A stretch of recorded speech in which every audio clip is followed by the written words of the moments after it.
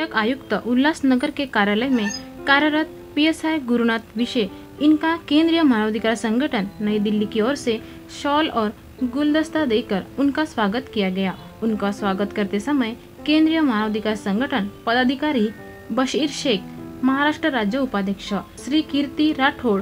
ठाणे जिला अध्यक्ष विनायक जाधव कल्याण तालुका अध्यक्ष